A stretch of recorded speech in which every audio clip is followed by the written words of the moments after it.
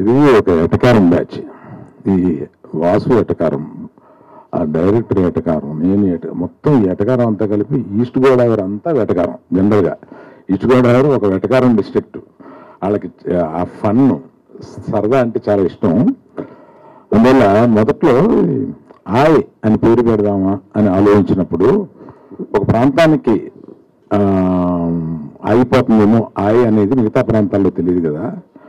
అని అంటే నేను కాసేపు కూర్చుని ఆయ్ ఎన్ని రకాలుగా ఉపయోగిస్తారు అని ఒక ఇరవై రకాలు అనుకున్నాం. ఆ ప్రాంతంలో. సో అందుకని టైటిల్ కరెక్ట్. ఫిదా ఫిదా అనేది జనరల్గా ఇక్కడ తెలంగాణలో ఉండే టైటిల్. కానీ ఆంధ్రాలో కూడా సూపర్ హిట్ అయింది. అందువల్ల ప్రాంతానికి టైటిల్ ఆపద్దు. అందులో చెప్పే కంటెంట్ని బట్టి అది అంత దూరం వెళ్తుంది అని. సినిమా చాలా సరదాగా ఉండే సినిమా. అంటే ఇవాళ సరదాగా ఉండే సినిమాలు బాగా పే చేస్తున్నాయి కాబట్టి తప్పకుండా ఇది పే చేస్తాను అనుకుంటున్నాను నేను. ఆ, దర్శకుడికి ఆ టైమింగ్ మన కామెడీలో కావాల్సింది ఏంటి మెయిన్ టైమింగ్. ఆ టైమింగ్ గ్రిప్ ఉంది. నేను ఫస్ట్గా నితిన్ని అప్రిషియేట్ చేయాలి. నాకు ఈ కథ చెప్పి నితిన్ అడుగుతున్నామంటే ఊరుకోయా అన్నాను వాసుని. అంటే హీరో అవ్వాలనుకున్నప్పుడు ఇలా కొడితే ఇరవై మంది పడిపోయారు అనుకుంటారు కానీ ఈ కామెడీ సబ్జెక్టు ఫ్రెండ్స్ తోటి రోడ్ల మీద అల్లరి చేస్తూ తిరిగే ఈ సబ్జెక్ట్ ఎందుకు ఒప్పుకుంటారు అని అంటే తర్వాత ఆయనతోటే నాకు చెప్పించాడు. నాకు కథ చాలా నచ్చిందండి చాలా సరదాగా ఉంది. ఈ సినిమాలో నేను ఎంతమంది కొడితే ఎంతమంది పడిపోతారని కాదు కదా మీరు అలా అన్నారంట హీరోయిజం ఉండాలి కదా అనేది. నాకు కాదండి నాకు కథ హిట్ అయితే అదే హీరోయిజము అని అతనికి ఒక ఎయిటీ పర్సెంట్ క్యారెక్టర్లో ఉంటాను ఇంకో ఇద్దరు ఫ్రెండ్స్ చాలా సరదాగా చేశారు. ఇంకొక అతని పేరు ఏంటి? అతను ఇక్కడ లేడు అంకిత్ అనే అతను ఇక్కడ లేడు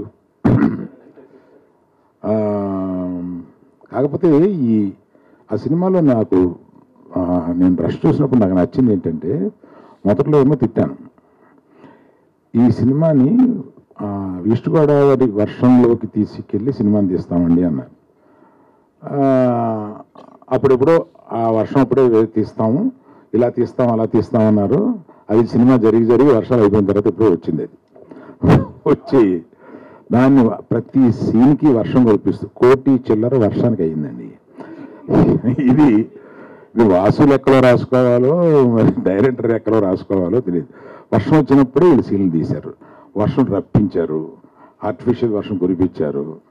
ఇలాగా కాకపోతే ఫైనల్గా సినిమా చూసినప్పుడు ఆ గ్రీన్స్లోకి వర్షంలోకి మనల్ని తీసుకెళ్ళి మనం తడుస్తున్న ఫీలింగ్ తీసుకొచ్చారు. అందువల్ల నేను కూడా గట్టిగా ఏమనలేకపోతున్నాను. రిలీజ్ తర్వాత చెప్తాను. ఒకసారి ఏదో పెద్ద కుటుంబం నుంచి ఒక మనిషిని హీరోగా పెట్టుకుంటున్నాం కదా అని ఎన్టీఆర్ గారికి ఫోన్ చేశాను. ఫోన్ చేసి ఇలాగా నితిన్ అనుకుంటున్నాము అని అంటే ఏమండి ఎవరి లైఫ్ ఆడదే. అది మనం సినిమాని ఫస్ట్ డే వరకు ఏదో మన బంధువులను మన వాళ్ళను ఇదేమో చెప్పుకుని తీసుకుని వెళ్తాం.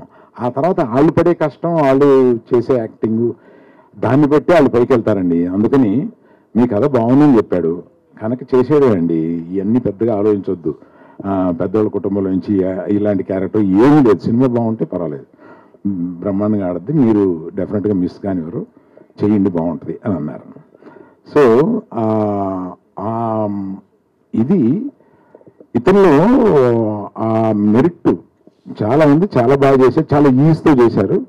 ఆయన అమ్మాయి కూడా అమ్మాయి ఇక్కడ లేదు ఇవాళ ఏదో ఎక్కడ షూటింగ్లో ఉందంట. దుబాయ్ పెళ్ళికి వెళ్ళింది ఆ అమ్మాయి పెళ్ళ? వేరే వాళ్ళ పెళ్ళి అంటండి. సో ఈ తర్వాత ఇలా చెప్పినప్పుడు మన సారీ మీ- అజయ్ గారు మ్యూజిక్ డైరెక్టర్గా నాకు చెప్పారు వాసు కొత్త కుర్రలు కొంతమంది వస్తున్నారు మన సినిమాలో ఎంకరేజ్ చేద్దామని. డెఫినెట్గా చేద్దామని అన్నాను. ఇలాంటి బడ్జెట్ లిమిటెడ్గా ఉన్న సినిమాల్లో మనం ఎంకరేజ్ చేసి వాళ్ళు పైకి వస్తే మనకే ఆనందం అవుతుంది. అలాగే ఈ నేను ఇంకా చాలా ఫంక్షన్లు జరుగుతాయి నన్ను వాసు వదలడు కనుక అందరి గురించి మళ్ళీ విడివిడిగా చెప్తాను నేను. ఇంకేమైనా మర్చిపోయినా వాసు?